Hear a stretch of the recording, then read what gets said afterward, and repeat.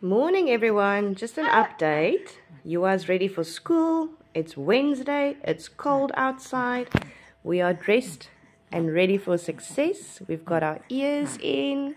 And tomorrow will be our first checkup after getting our ears. And we'll see if there's any feedback regarding if Juha can actually hear what is happening around him. Hopefully, we don't really have a lot of hope for the hearing aids because of how deaf he is. That's why the cochlear implants are the only option. But we are still happy, we are healthy, and we are ready to have fun.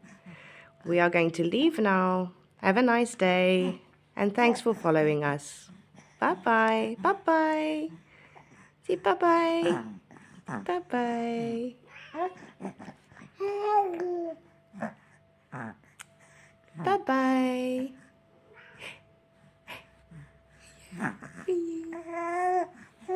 He is a very happy baby.